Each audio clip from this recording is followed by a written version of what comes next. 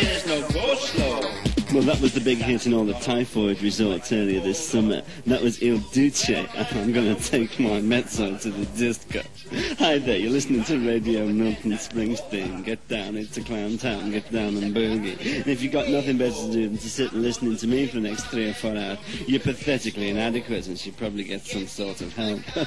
Later on, we'll be talking to a friend of mine about some shoes he bought in a sale. But first...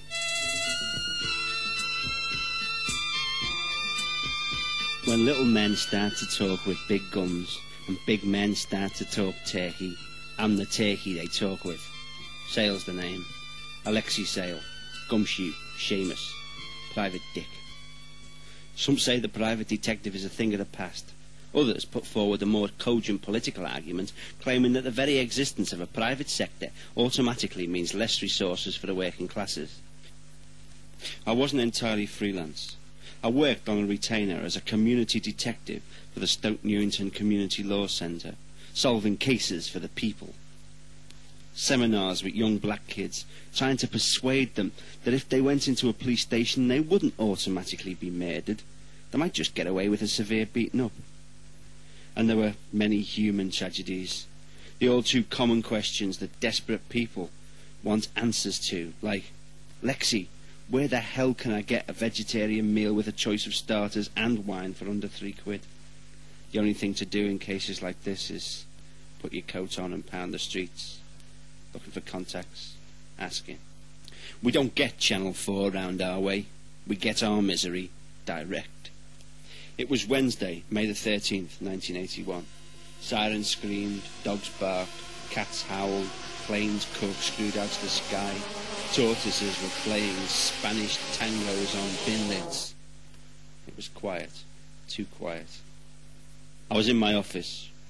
I was wearing my ample Adidas dance pants, my Olympus running shoes with the spikes on the inside for greater pain and greater guilt, and my tour jacket with Black Death Tour of Europe 1348 to 1349 written across the back. My hair was by Keith at Stink, and my badges by Just Badges of Islington. I felt like a million dollars and looked like a right cunt. I started asking myself questions. What's it all for? What's it all about? What's it all about? Hello, Alexei. Dave the technician here. Uh, in response to your question, what's it all about? Well, you put your left leg in, you put your left leg out, you do the hokey cokey and you turn around. That's what it's all about. Oh yeah, thanks a lot. That's one mystery cleared up anyway. Do you get depressed? I do. You know those days when the useless Eustace cartoons just don't seem funny? Well, Chris came round last night. and Apparently Judith left him, and she's taken all the Style Council albums, so it looks pretty final. Apparently Judith accused Chris of subverting the socialist government in Nicaragua. I think she's getting really paranoid. Then she started giving Chris a hard time about stuffing his bicycle magazines down the waste disposal.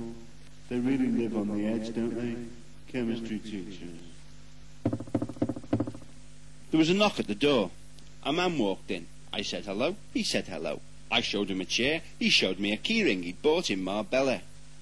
He was Big Ralph, the laundromat king. A man so tough that the Kray twins used to give him their number six coupons. What can I do you for, Mr. R? I quipped.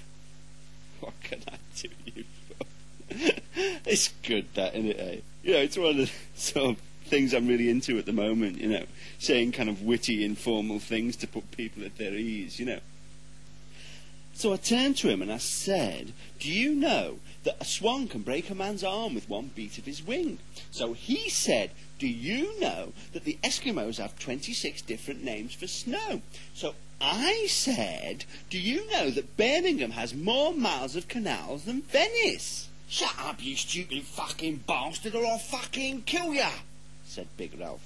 Listen, John, I've come to see you about a bird. I looked at him steadily. Tell me your problems, Mr. R, I sighed. But please, cut out the sexist terminology. Okay.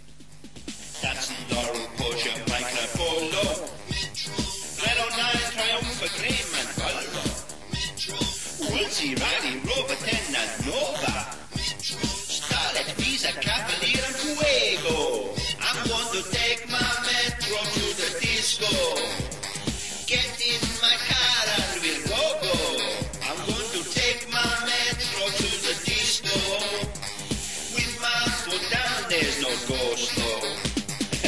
Okay, that was Il Duce and Take My Metro to the Disco. Now, if you go into your local chart shop and buy that record, they're giving away a free mini Metro with every one. So that should be going from 0 to 60 up the charts in no time at all. Okay, fantastic. You're listening to Radio Milton Springsteen, and now we've got episode two of Alexei Sayle and the Fish People. And in episode two, Big Ralph proposes.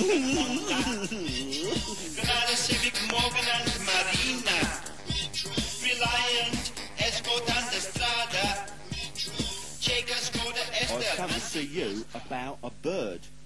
I looked at him steadily.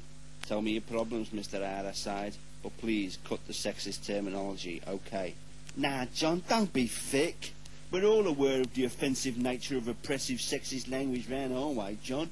I'm talking about a real bird with wings and feathers and a little beaky weaky. It's my budgie, Hardiman. He's varnished. What, I said, you mean he's been covered in a clear coating of polyurethane? Nah, do leave off, John. I mean, he's varnished. He's gone. He's disappeared. My heart sank to my boots. Another lost budgie. My 27th this week, and it was only Wednesday. I was sick of dragging bird baths and going up to people and saying, Do you recognise this budgie? Lost budgies ain't my line, Mr. R. I lied. Don't wind me up, John. You looking to have your epiglottis removed or what? There's a lot more at stake here than a lost budgie, John. This is so big, it's bigger than a really big thing. It, it's bigger than the most enormous thing that you saw the other day. That's how big it is. I showed interest. I did this just using the expression on my face. I didn't have to say anything. My facial expression communicated everything. I was interested. That's the thing I'm really into at the moment, you know, like um, body language, you know. Like your voice is saying one thing, but your body is saying another, you know. Like your voice is saying, I want to go to Habitat, but your body keeps taking you to MFI, you know. Or um, like your voice is saying, I want to go to the toilet, but your body's saying some really interesting facts about cheese. So, I mean, you know, I mean, what are we talking about? Martians, said Big Ralph. Alexei, uh, it's the engineer here. Can we hold it a minute? I'm getting a bit confused. Who just said Martians? Big Ralph. In reply to the question, what are we talking about? No, that was a sort of extended interruption to the narrative flow. Structurally speaking, this is very deep, you know. I mean, there's a lot of different levels going on. Well, can we try to keep the levels down a bit? Do you mean you want me to say it quieter? Yes, and could we have less jokes about cross-purpose conversations, please? Okay. By the way, did you hear about Chris and Judith? What, splitting up? Yeah, Chris came round last night, you know, and he told me. Well, we'd better not mention anything to Pauline for a bit. Do you reckon? Yeah, that's what I thought. Okay to carry on? Yeah. Okay, and take it again from Martians.